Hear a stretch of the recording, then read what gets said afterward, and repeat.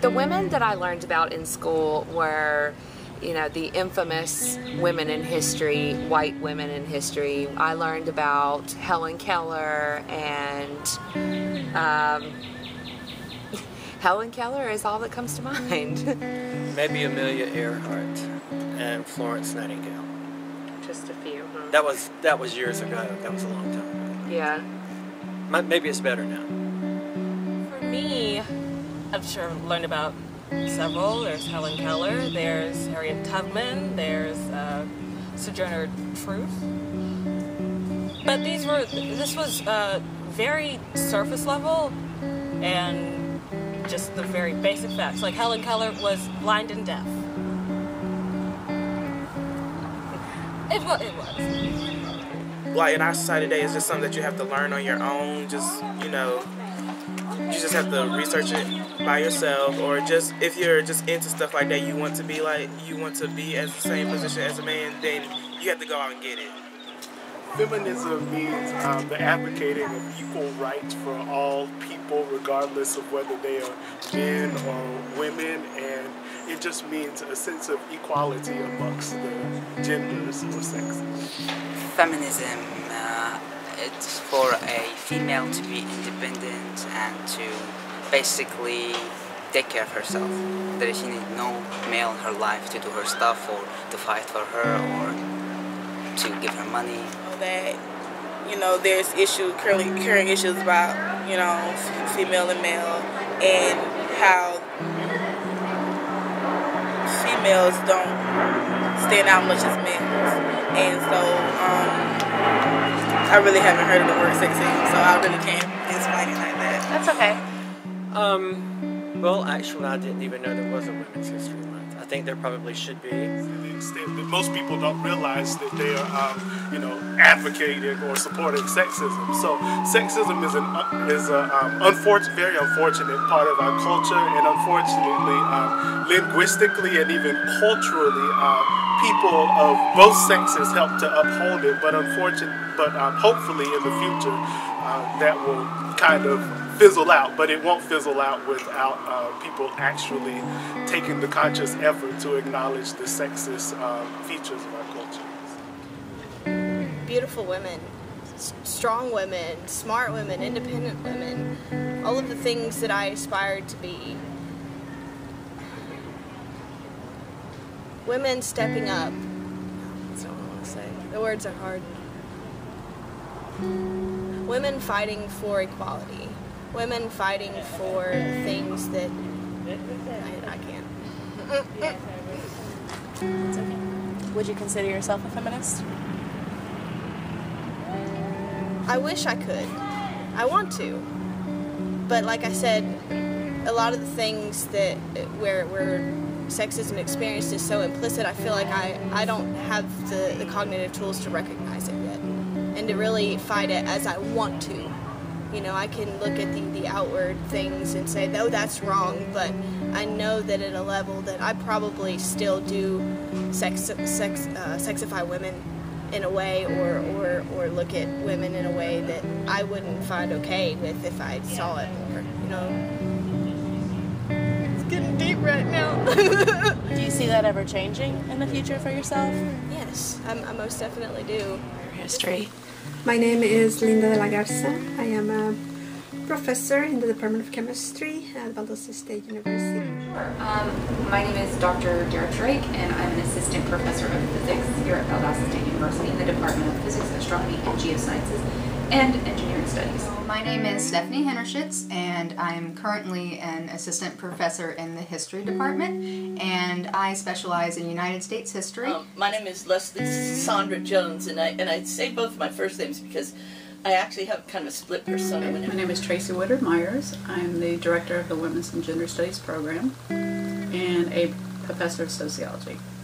My name is Catherine Oglesby. I'm a professor of history in the Department of History.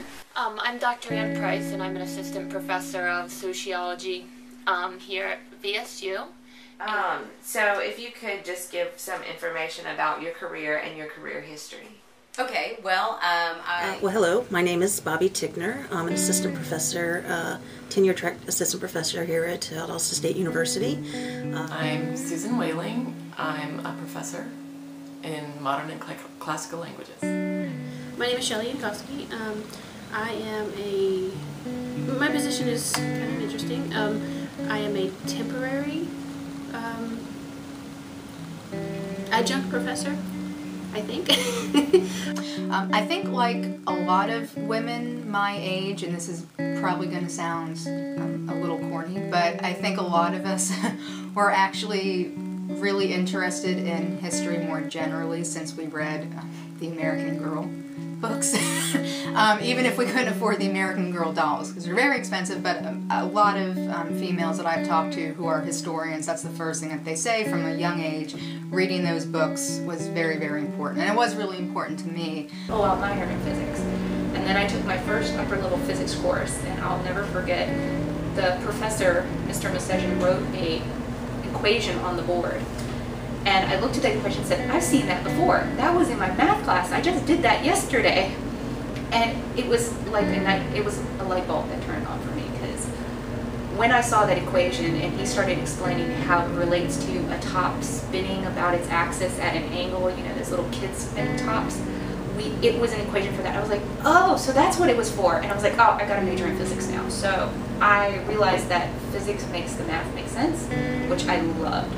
I guess my interest uh, really started very young. Uh, I lived in an inner city uh, environment that was uh, one of the most dangerous cities and uh, areas of the town in Cincinnati, Ohio. Um, saw a lot of things going on around me, saw a lot of things from my own parents, um, and always kind of had an interest into why people would do some of the things that they do.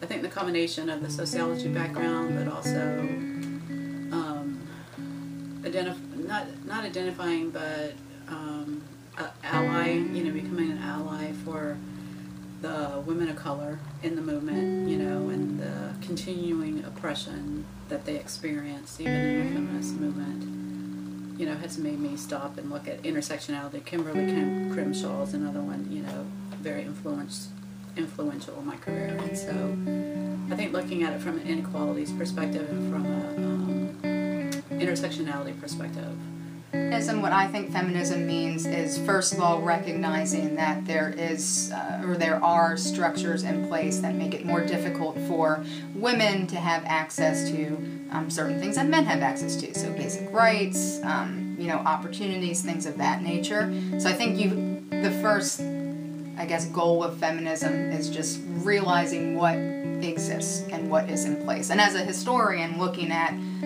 how that might have changed over time or more unfortunately, how things have kind of stayed the same.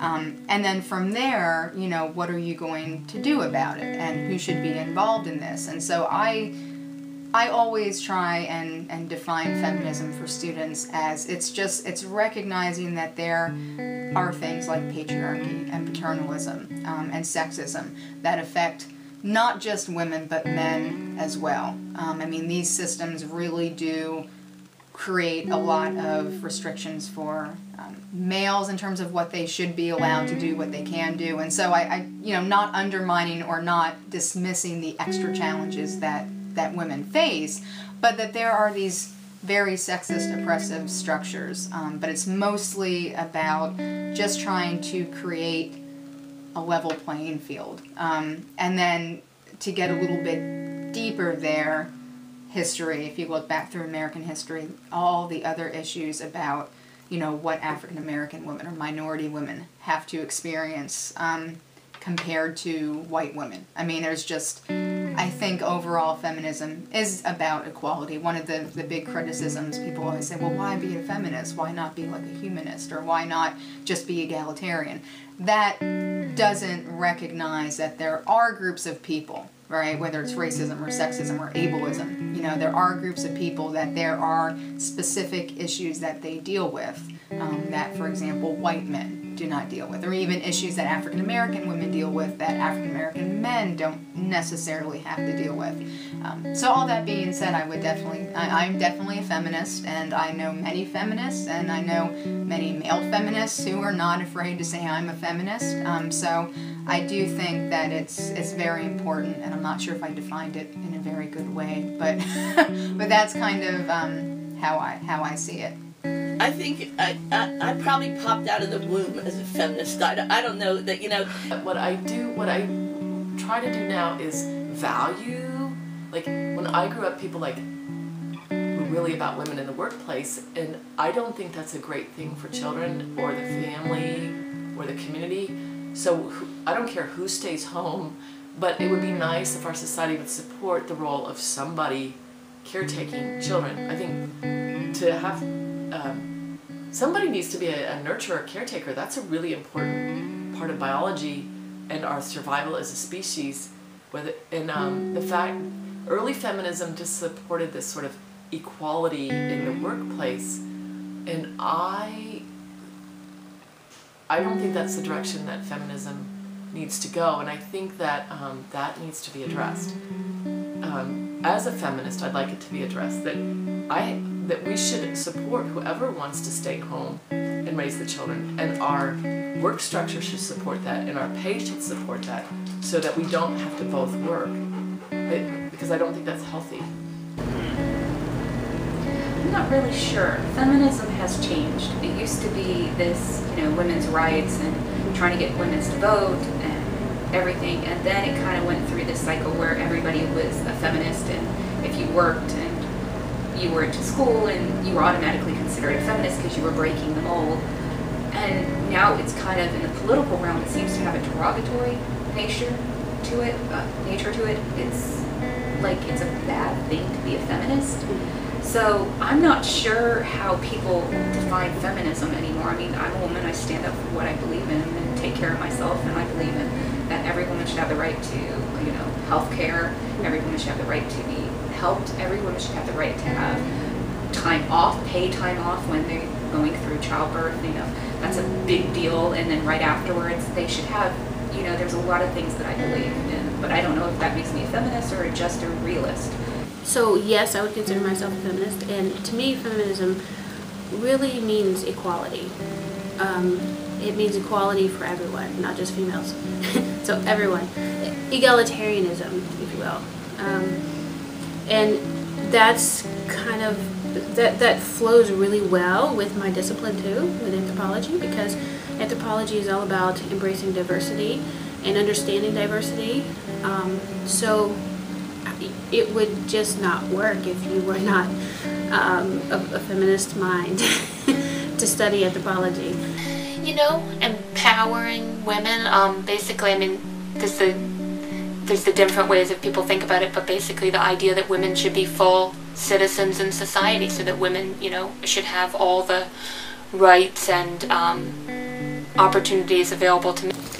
I guess showcasing how great it is to uh, be a woman and try to.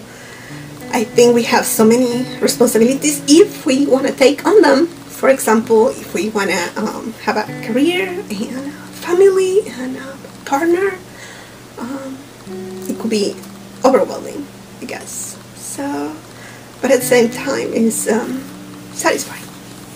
Uh, I think we put a lot of it on ourselves. I think that, and it's not always the case, certainly. I'm in a relationship with someone who, if I needed them to, would give 80% and I only gave 20. And that would be fine. And that would even be short term or long term. But I put it on myself that no, no, I want to, I can do all of this. You know, I can be a professor, I can be the good friend, the mother, the wife, you know, all the roles that we have to play but in some ways i mm. enjoy that i enjoy being the glue that keeps it all together. You know, so fairness, sometimes, you know, you wish people would step up a little bit more, sure.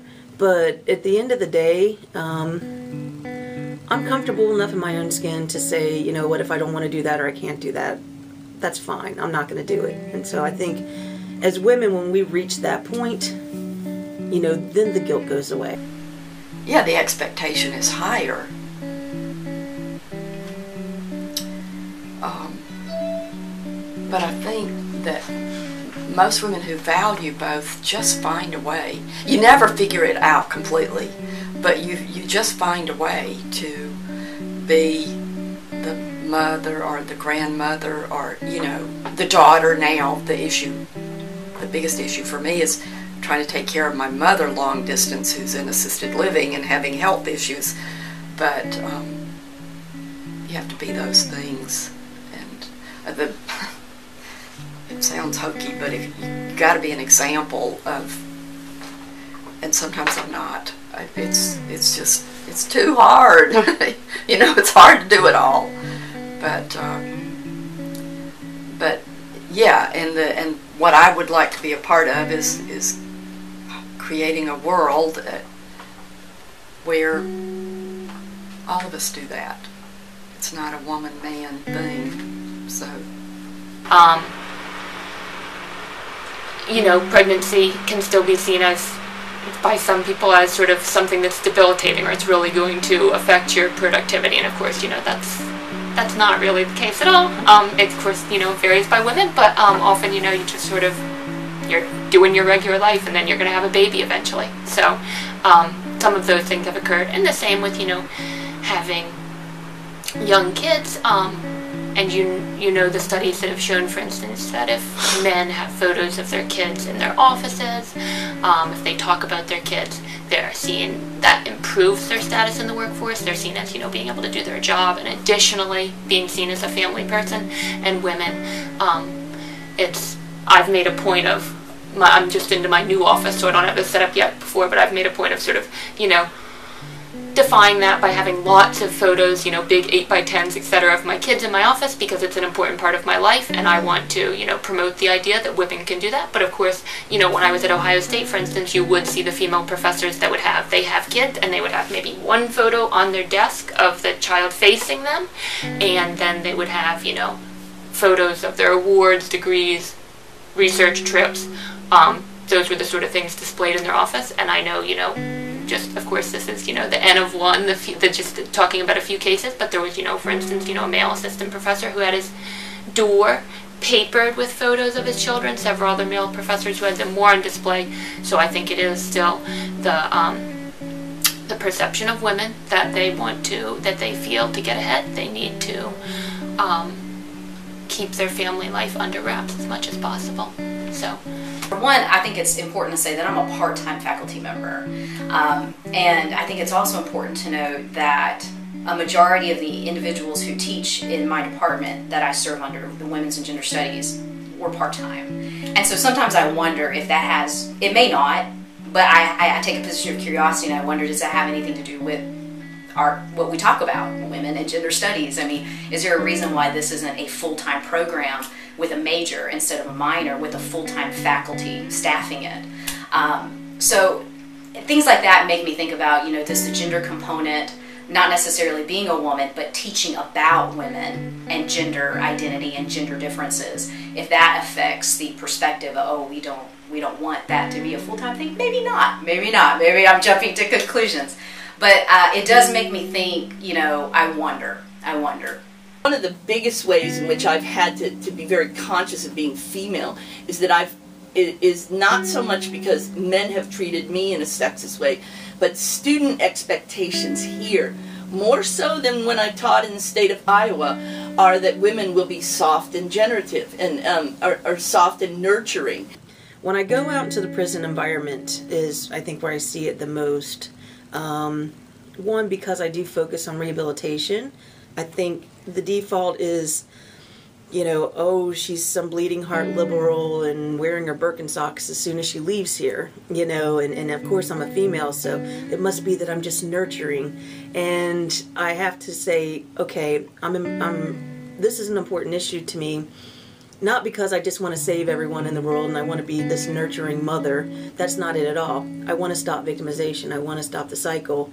And oh, by the way, it can save you a lot of money. And so I have to kind of position things a little different. But sure, I mean, anytime you walk into, you know, two careers, you know, one computers and another, uh, uh, you know, computer or uh, criminal justice working in prisons, it's male dominated. And, uh, you know, I have to talk differently a little bit. And maybe that's not fair that I have to do that, but in some ways, whatever gets me to the goals that I need to achieve, I'll do them. Yes, for sure.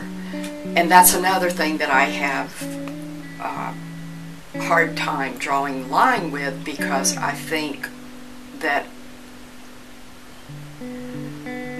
some of us have got to be nurturing, but you have to, where do you draw the line with students? And so that's, um, I am to some extent enriched by nurturing and being nurtured. You know, it's, um, we teach and we learn. We do both in, you know, everybody in the classroom.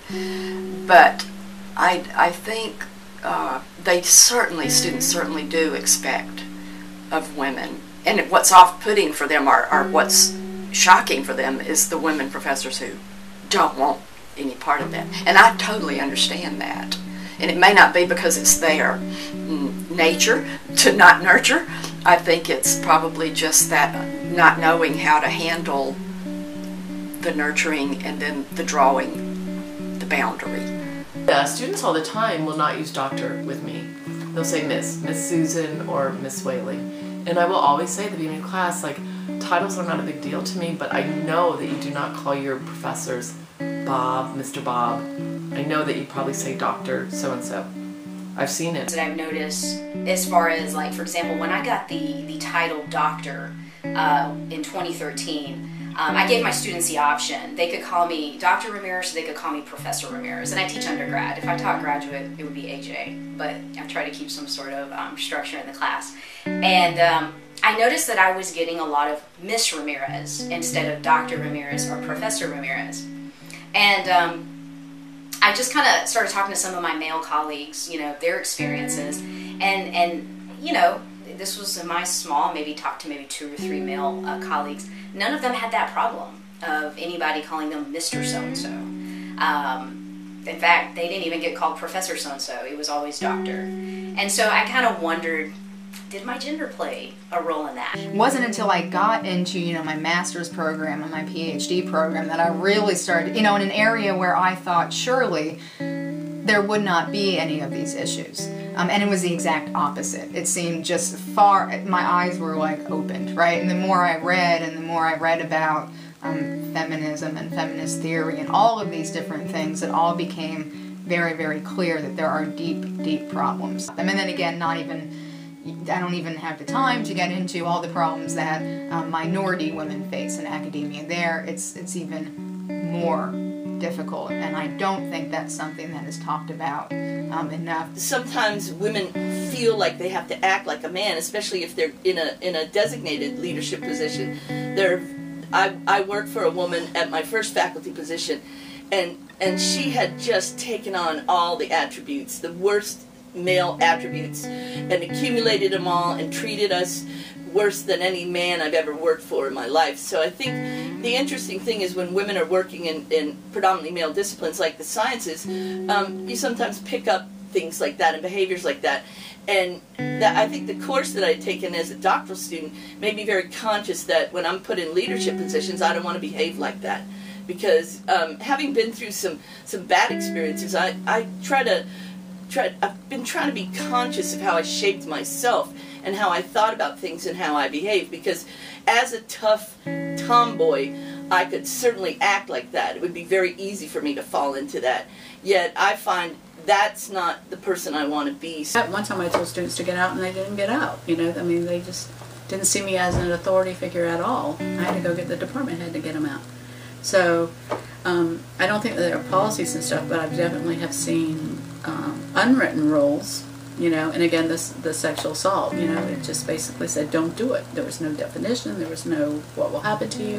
And then five, uh, a paragraph higher was all about hazing, and there were like five paragraphs what it is, and so whose voice was at the table when those policies were made? You know, not somebody that had to worry about sexual assault, but somebody that was worried about hazing. So I think I see a lot more of that and a lot of exclusion of women at the table making the decisions. And then women in helper roles that are supporting or so supporting staff of the people that have the power, that the women are really working really hard. And then the, the men in the roles, the white men in the roles, are getting all the benefits and all the um, accolades, you know. You know, we have a really diverse student body. That's one of the wonderful things about teaching at VSU, and it would be wonderful if we had more diversity in our professors um, to mirror that because we know that students identify with those who have those similar characteristics to them, and as far as reaching out to someone and feeling supported, that really helps a lot. I think um, our university will benefit a lot on probably the diversity issues are quite important. We noticed that special case last summer. Um, we need to support our students and make sure that they have a place to, uh, you know, show their interest and their thoughts and be able to, you know, to guide them in the appropriate way. I really, really hope that we can get the, um, you know, and this is not just VSU, this is across the country, but uh, get university academia kind of back in back in order. Um, I hate the direction that that things are going more generally, you know. Um, so we talk about the McDonaldization of, of, academia. This is scary. This is this is not a, the kind of learning environment anyone wants to be in. It's not a learning environment if you continue this. So I'd like to see that um, fixed. But how and you know that's another story. But um, and also, just for myself personally, I'd like to have um, a job. I want to keep doing what I'm doing because I love it. The, the most rewarding thing for me so far has just been being able to get in the classroom and teach and seeing people, seeing students learn. You know, those aha moments, those are awesome. they make your day wonderful. And um, the, the cool thing too, and it's kind of egoistic, is that I get to learn. So I'm always pushing myself. And so it's like I'm a forever student as well, and that is a lot of fun. The, the rewarding thing for me has been that I have been able to use my research in the classroom. That's one of the, uh, that's a, uh, a reward that you can't really top. You know, I would say one of the positive things is just having the opportunity to work with a lot of first generation students like I was. So that's been something that is overwhelmingly positive. Um, but yeah, uh, challenging, I would say. yeah. I'm generally happy. There's so many wonderful things about um, being a professor. Um, and I really do appreciate all of the you know, the flexibility, the ability to mostly, more or less, be your own boss, right? Of course, you have, you know, people to that you um, need to respond to, but it's so amazing to be able to have that time in your office and just um, decide how you're going to divide up your own time. You know, this is the time I need for prepping teaching, and this is when I meet with students, and this is my time carved out for my own research, which usually gets smaller and smaller. But it is, um, it is such an amazing job. I, um, yeah, I can't imagine having another.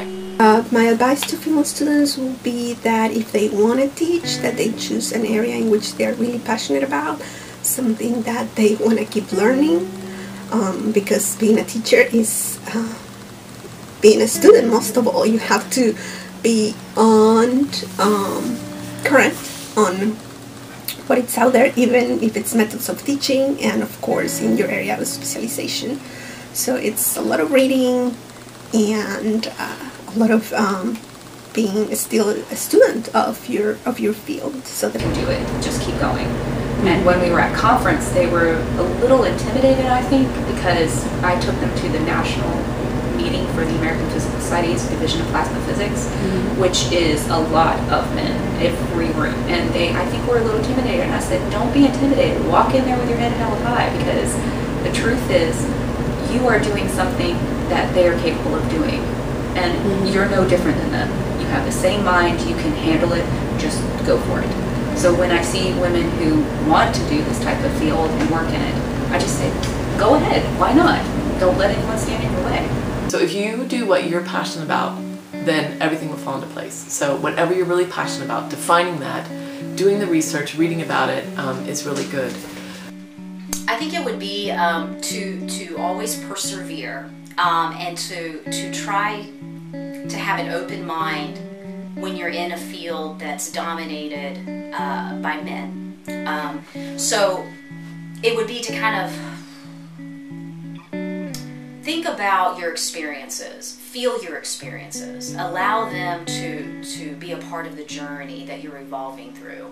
However, time to really think about how you want those experiences to affect you career wise. what you want to do. You know, what, what is what do you want to not do, but what do you want to accomplish? And something in you is is prepared for that. That's that something is motivating you that's that's a core thing. And I would say you have to do that in spite of the um, obstacles you're going to encounter. And but I say this very guardedly, very guardedly. on many college campuses like here at VSU, you know, the women's and, and gender studies departments, they are excellent, excellent resources um, for for anything, any questions that you might have, and if you end up at a university or a college for your master's or PhD degree, or even you know here now, work very hard to protect those. Um, even if you you might not see your work or your research as, as necessarily lining up with that. So even if you're in a hard science or you want to go into biology or chemistry, don't overlook you know what those programs can do for you. I think that's that's another thing is always being aware of the resources that exist um, to help you and to help overcome some of these challenges that you're going to face. So I know that sounds a little dreary, but I think just knowing what you're getting into would be my best advice. See, I think students have a lot more power than they think, you know, uh, especially now that it's almost like a consumer, you know, customer service, you know, to keep the students happy so they'll stay here. So I think students have a lot more power. I think if the if the faculty would organize, you know, but I think everybody's scared of of this administration right now, um, especially after people have been fired, to speak up and speak out. But I think that students could say, this is not acceptable. You know, this is not what I'm paying to come here for. You know, confidence. I mean, that's number one. Um, and I see this so much, much more than the male students. I see it in female inmates, is the lack of confidence that we have in ourselves. Um, you know, you don't even want to answer a question in class because, you know, what if I'm wrong? You know, I'll be embarrassed. Okay, well, what if you're wrong? Who cares? This is the time to be wrong. This is the time to work all of those things out. You know, this is the time to explore and and and, and understand yourself. Uh, and it took me a long time to get there. It took it took me a long time to to be confident to say, you know, I can't control the people around me, but I can control how I think, how I feel, and the actions that I take.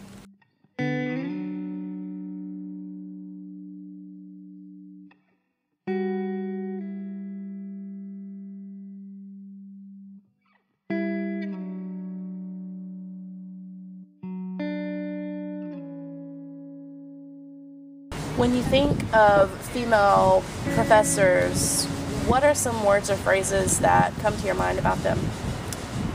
They're my favorite. Um,